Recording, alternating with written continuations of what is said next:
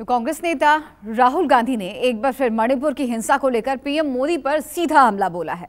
राहुल गांधी ने मणिपुर पर पीएम की चुप्पी पर सवाल उठाया तो लगे हाथ ये इल्ज़ाम भी लगा दिया कि बीजेपी और आरएसएस की विचारधारा ने ही मणिपुर को जलाया है। राहुल ने यह भी आरोप लगाया है कि पीएम मोदी और बीजेपी आरएसएस से जुड़े लोगों को मणिपुर की त्रासदी का कोई दुख नहीं है। प्रधानमंत्री जी ने मणिपुर के बारे में एक शब्द नहीं कहा मगर आपको आश्चर्य होगा कि हिंदुस्तान का प्रधानमंत्री नरेंद्र मोदी मणिपुर क्यों नहीं जा रहा है? मणिपुर के बारे में बोल क्यों नहीं रहा है? क्योंकि नरेंद्र मोदी जी चुने हुए लोगों के प्रधानमंत्री हैं। आरएसएस के प्रधानमंत्री हैं। उनको मणिपुर से कोई लेना देना नहीं। वो जानते हैं कि उनकी विचारधारा ने जिसे बोलना चाहिए था, क्या वो वाकई मौन है? कल तक जो मुश्किल सवाल मुहावरों में पूछे जा रहे थे, राहुल ने उसे सीधे सीधे बोल दिया। सत्ता के शीर्ष पर बैठे लोगों के खिलाफ हल्ला बोल दिया। बहुत बहुत यूथ कांग्रेस के कार्यकर्ताओं से वीडियो कॉन्फ्रेंसिंग के ज़रिए रूबरू हुए राहुल ने सत्ता की विचारधारा को मणिपुर की त्रासदी का कसूरवार ठहराया। विपक्षी गठबंधन पर पीएम मोदी के हमले का भी जवाब दे। देंगे। बाकी देश को जला देंगे। इन दिनों कांग्रेस और उसके सहयोगी दलों ने एक नया पैंतरा चला है। कांग्रेस और उसके साथियों की जमात ऐसी फ्रॉड कंपनियों की नकल कर रही है। यूपीए के कुकर्म, लोगों को याद न आए, इसलिए इन्होंने अपना नाम यूपीए से बदलकर आईएनडीआईए कर दिया। ऑपोजिशन अलायंस ने बहुत सुंदर नाम चुना।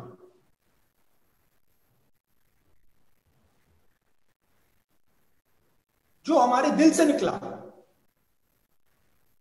इंडिया। हम इंडिया हैं।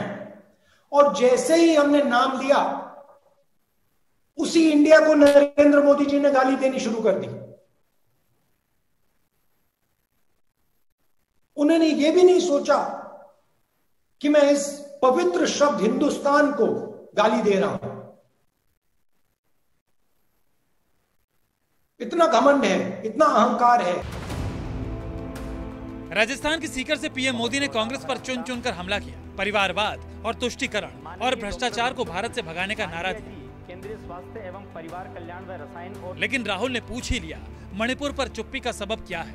क्या सत्ता ही बीजेपी और संघ की सियासत का लक्ष्य हो गया है? महात्मा गांधी ने नारा दिया था। क्विट इंडिया अंग्रेज़ों इंडिया छोड़ो। जैसे गांधी जी ने क्विट इंडिया का मंत्र दिया था, वैसे ही आज का मंत्र है, भ्रष्टाचार। क्विट इंडिया परिवारवाद। क्विट इंडिया वो सिर्फ़ सत्ता चाहते हैं और सत्ता के लिए वो कुछ भी कर देंगे।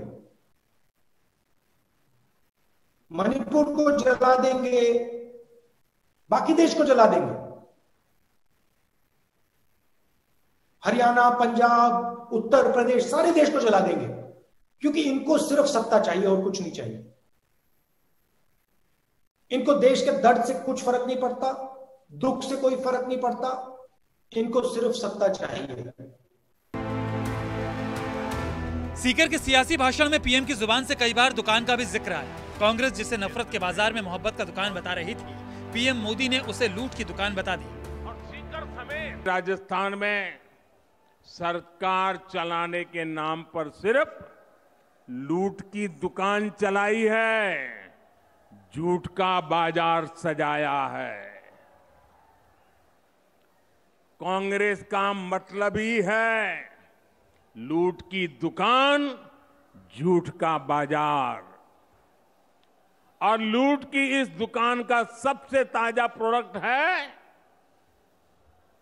ताज़ा प्रोडक्ट। भारत जोड़ो यात्रा में बहुत अच्छा नारा निकला। नफरत के बाज़ार में मोहब्बत की दुकान खोलनी है। यही आपका काम है। और कुछ बोलने की ज़रूरत नहीं है। मणिपुर में इन्होंने नफरत की बाज़ार खोली चलिए हम जाके मोहब्बत की दुकान खोलते हैं। जहाँ भी ये नफरत फैलाते वहाँ आप जाके मोहब्बत की दुकान खोलिए। यूथ कांग्रेस के कार्यकर्ताओं को वीडियो कॉन्फ्रेंसिंग के ज़रिए संबोधित करते हुए राहुल गांधी ने बीजेपी पर यह इल्ज़ाम भी चस्पा कर दिया कि वो चंद लोगों के हाथ ही देश की संपत्ति सौंपना चाहते हैं। समाज और सत्ता का संचालक भी चुनिंदा लोगों को ही बनाए रखना चाहते हैं। Bureau report, news 24